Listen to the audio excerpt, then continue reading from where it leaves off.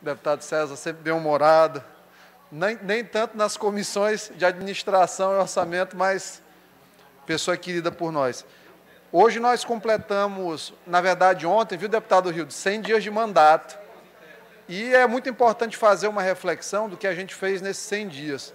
Nós viemos ainda agora de uma reunião sobre a questão do FEPA, do Fundo Estadual de Pensões e Aposentadorias, pensionistas e aposentadorias e aposentados, e a gente viu uma discussão que, por vezes, ela se exasperou e, principalmente, ela perdeu o formato que o parlamento deve ter. Isso foi uma coisa que eu consegui aprender já no início aí desses 100 dias de mandato. Foi a necessidade de respeitarmos a opinião alheia e promovermos uma, promovermos uma discussão com caráter muito técnico. Por vezes a gente perde isso nas nossas discussões, principalmente quando a gente tenta colocar questões técnicas com um viés político. Isso aí é extremamente perigoso, mas foi uma das lições que a gente aprendeu nisso.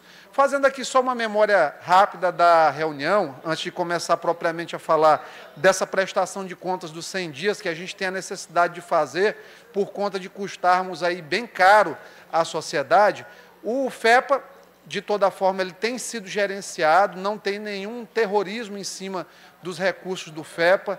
Veio o secretário de Comunicação e Articulação Política, Rodrigo Lago, e o secretário da Casa Civil, Marcelo Tavares, para falar a respeito da gestão dos recursos. Houve, como houve em todos os estados da federação, uma redução do volume de recursos para cuidar das aposentadorias. Todos os fundos de aposentadoria do Brasil praticamente estão numa situação difícil. Essa situação difícil é causada por envelhecimento da população, aumento de necessidade de pagamento de pensões, promoções, que são situações óbvias que ocorrem aí no decorrer da vida funcional de um servidor público. Então, como houve progressões como nunca antes no governo Flávio Dino, 2014 e 2018, em comparação com o período anterior, houve uma redução dos recursos da conta corrente do FEPA. O que é muito diferente de dizer que o FEPA acabou, que o FEPA está falido. O FEPA, para quem não sabe, só do ponto de vista do patrimônio imobiliário, ele tem um, um total aí em torno de 2 bilhões de reais. São recursos que podem, a qualquer momento, serem mobilizados. O fato é que o governo tem arcado com toda a diferença de despesas para efetuar um pagamento adequado e em tempo hábil de servidores e tanto os ativos como os inativos. Né? Então, diante disso, a gente fica muito triste, às vezes, em ver reuniões chegarem a níveis, de, muitas vezes, de agressões pessoais, de cunho não relacionado à matéria da reunião. Isso, então, foi um resumo da reunião e eu estou muito confiante na gestão da CEPLAN, de, de, toda essa massa aí de ativos e o planejamento de longo prazo. É óbvio que essa questão previdenciária ela terá que ser tocada em algum momento. No ano de 2025, o Estado do Maranhão passa a ter mais servidores inativos do que ativos, e é claro que a, a resultante óbvia dessa equação é mais gente trabalhando para sustentar mais gente ainda que está aposentada. A contribuição inicia com o aumento da contribuição patronal, que é que o governo do Estado paga, e em algum momento há de se discutir mecanismos para melhorar essa arrecadação do fundo, porque a verdade é, não há como fazer milagre em gestão pública. O dinheiro que sai tem que entrar por alguma porta, ele não é criado aí dentro de uma máquina especial ou de alguma árvore abençoada dentro do cofre do Estado. Essa, esses 100 dias foram 100 dias muito importantes, quando nós entramos, logo no primeiro dia, apresentei um projeto de lei que, por conta de tratar de matéria tributária, nós decidimos pedir a retirada do mesmo e apresentá-lo como um anteprojeto, que o governador agradou-se muito, porque é uma lei de incentivo à saúde. Termina funcionando como se fosse uma lei de incentivo ao esporte, lei de incentivo à cultura. O poder público, o SUS, consegue captar recursos a partir de redirecionamento de ICMS da iniciativa privada. Então, é uma medida que nasceu da experiência de gestão que eu tive no período de 2013, uma experiência curta, mas que conseguiu colocar-nos num, num, num, patamar de discussão dos problemas da saúde, na medida que a gente começa a estudar cada vez mais a respeito do tema. Em outra ponta, uma preocupação nossa foi a preocupação com o atendimento oncológico do Maranhão. Não sei precisar é, ao certo, porque há um interesse tão grande, uma sensibilização tão grande com a questão do câncer. Não sei se é um misto de medo com um misto de consternação e empatia. Nós, de toda forma, analisamos a legislação do Fundo Estadual de Combate ao Câncer e vimos que, da forma que ela foi aprovada, ela dá margem a um, uma série de questionamentos, tanto quanto a constitucionalidade da mesma, porque partiu de uma iniciativa parlamentar, uma matéria de ordem estritamente tributária e criação de um fundo. Portanto, a matéria teria que ser apresentada pelo, pelo Executivo e não o foi a partir do momento que criou-se um conselho para fazer a gestão do curso, se colocou, do fundo, e se colocou o Ministério Público como um, um ativo dentro desse conselho. O Ministério Público é função essencial à justiça, termina exercendo um papel de fiscalização. Então, ele não pode estar dentro do fundo, do conselho do fundo, que organiza a política de saúde. Então, foi outra falha que aconteceu. E um outro problema que a gente tem sido recorrentemente lembrado aqui nesta casa é a questão da Aldenora Belo, que é uma entidade filantrópica e que tem tido dificuldade para receber repasse do Fundo Estadual de Combate ao Câncer. A nossa ideia, então, foi fazer uma regularização de todo o corpo da, da legislação do Fundo de Combate ao Câncer e apresentar ao governador para que este enviasse como mensagem para a Assembleia Legislativa para as devidas correções. Outro projeto nosso na área da saúde foi decorrente da minha prática médica por três anos na Baixada Maranhense. O doutor Leonardo Sá está aqui, sabe das dificuldades que o médico, às vezes, no translado de seu plantão, ele tem para chegar ao trabalho. Isso é fruto de uma política ruim de gestão dessas empresas privadas que têm a concessão do transporte aquaviário. Não tem até hoje um site que você consegue fazer a compra do bilhete com antecedência. E aí, às vezes, entra a mão pesada da lei para corrigir uma distorção que é causada pela ineficiência da política de um agente privado, que é concessionário de um serviço público essencial. Então, nós apresentamos um projeto que garante ao profissional de saúde que esteja em direção, em viagem em direção ao seu plantão, que ele tenha o seu embarque priorizado no ferryboat são os momentos que a gente, infelizmente, tem que legislar para coibir uma distorção. Quanto à questão da segurança pública, que nós somos da comissão também, é, pensamos que projeto, os projetos de lei eles devem valorizar a, o caráter de inteligência das nossas polícias em detrimento do caráter repressivo criminal.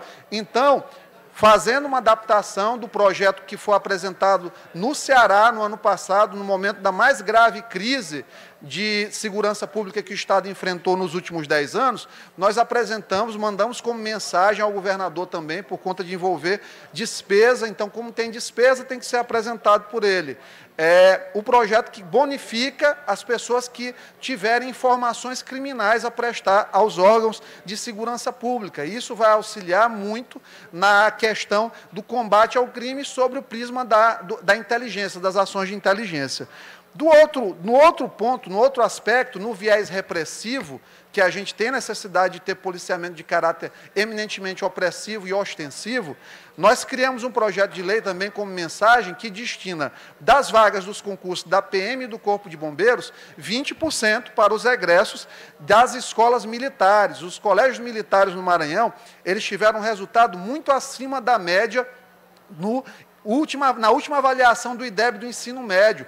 A avaliação do Maranhão estava em torno de 3,5, a avaliação dos colégios militares foram 5,2 e 5,9, respectivamente, 2 de julho e o Tiradentes. Então, as escolas militares elas têm demonstrado que os alunos têm um nível acima do próprio ensino da, da maioria das escolas do Maranhão, sejam elas públicas ou privadas. Um outro projeto que nós apresentamos também é garantir no acesso às escolas militares que 20% das vagas sejam para os estudantes de escolas públicas. Por quê? Porque até nos estudantes da escola privada, há aqueles que, em alguns momentos, pelos resultados positivos das escolas militares, queiram ingressar nelas. Então, nós colocamos essa, esse projeto de lei, já foi apresentado também para garantir essa reserva de vaga. Quanto à questão da participação popular na política, que foi uma coisa que a gente sempre acreditou e sempre lutou para que viabilizasse, na semana passada nós apresentamos também uma PEC da iniciativa popular, não para lei ordinária, lei complementar, isso a gente já tem na nossa Constituição, mas para a própria emenda constitucional que nasce a partir de uma iniciativa popular. Isso já iniciou no Senado, falta aprovação na Câmara, então é, outra, é a primeira PEC que nós apresentamos. A segunda PEC foi uma PEC da Defensoria Pública. Hoje no Maranhão nós temos 192 defensores e um déficit de 386. Nós temos aí uma massa de 2 milhões e meio de maranhenses que trabalham e não têm acesso a um advogado, portanto necessitam do serviço da Defensoria Pública. A Defensoria Pública, no ano passado, realizou quase 450 mil atendimentos com essa pequena estrutura que tem, presente apenas em 36 comarcas. Então, fizeram um grande trabalho. Uma das formas da gente favorecer a atuação do defensor público foi a propositura dessa outra emenda constitucional que garante que o defensor público ele possa entrar com uma ação direta de inconstitucionalidade contra a lei estadual no Tribunal de Justiça. Então, foram duas PECs. Presidimos a Comissão de Assuntos Municipais de Desenvolvimento Regional, pautamos uma audiência sobre metropolização da Grande Ilha, justamente para evitar a recorrência desses problemas que nós temos em todo período chuvoso. Esse período chuvoso Toda vez lamentamos e no ano que vem reproduzimos os mesmos erros por falta de iniciativa. Então, pautamos essa audiência como uma forma de manter a discussão viva, tendo em vista que já reduziu o volume de chuvas, quando a gente pega o mês de março, e as pessoas tendem a esquecer. A gente quer dizer aqui que não iremos esquecer dessa matéria, lembraremos o ano todo. Um outro problema que nós atacamos aí perante a Comissão de Assuntos Municipais de Desenvolvimento Regional foi a questão dos abatedouros no estado do Maranhão. Há ainda uma enorme quantidade de abatedouros clandestinos e, a, e até os abatedouros que são registrados com problemas relacionados principalmente à estrutura, tanto de saúde quanto ao sanitário da coisa. Então, é outra discussão que a gente está pautando em relação aos consórcios para esses abatedouros, até as parcerias público-privadas, onde couber.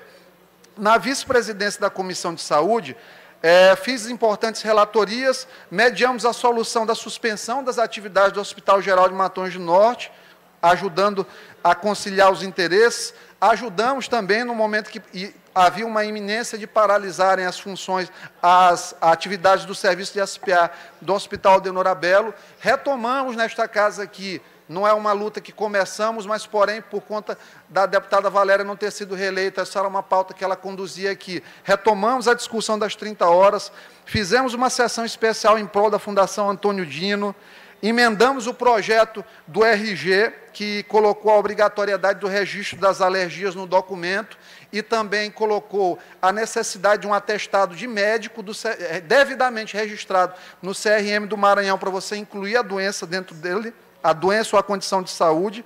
Na Comissão de Segurança Pública, dialogamos com as categorias responsáveis pela segurança pública no Estado do Maranhão. Fizemos, nesse período, no trabalho das comissões, cerca de 20 relatorias, aí com seis projetos de lei, projeto de resolução legislativa, completando aí ao todo uma centena, 100 proposições e 100 dias de trabalho.